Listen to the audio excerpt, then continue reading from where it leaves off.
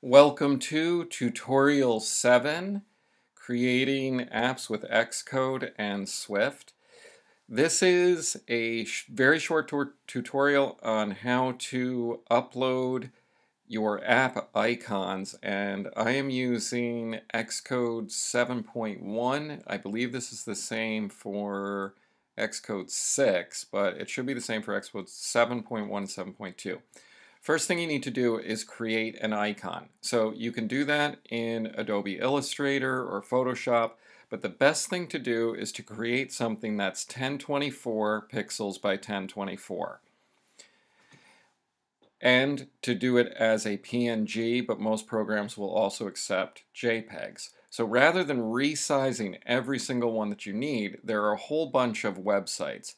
I've used this Mac makeappicon.com you just dump your picture in here, then they make you email it to you. This one doesn't require an email, um, whatever that web address is up there, Icon Slayer. You dump in the image and it creates all your icons. Um, this one's okay. It definitely requires a 1024 by 1024 and I you do have to you do have to get it emailed to you, so that's kind of a pain.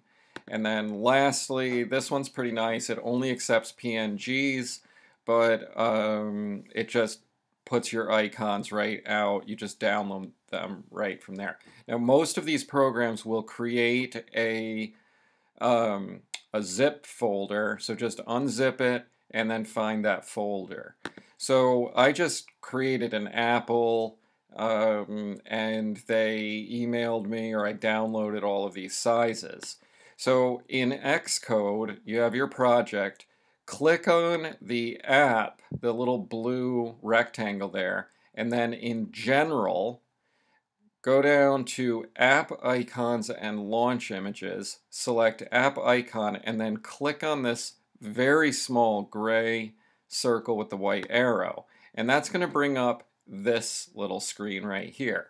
So what you need to do now is drag in each of the images into the app icon.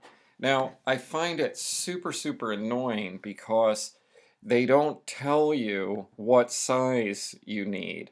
So if you put it in there and you get this little arrow, uh, this little uh, whatever warning symbol, you can click on it and it tells you what you need. So I need an 87 by 87. So I can go through here and find one that's that's the right one that I need, the 87 by 87.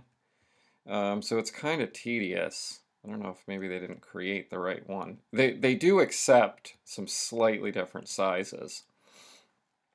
Anyway, um, once you've done all of that, what I did to make it simpler is um, I created a little um, cheat sheet for this and I'm just going to open this up and then you can maybe pause your screen right here or screenshot this. So those are the different sizes that you need for all the different um, app sizes. So all you do is drag each of those on and then when you're done just click the folder and you can get back to working on your app. That's it. Thanks for watching.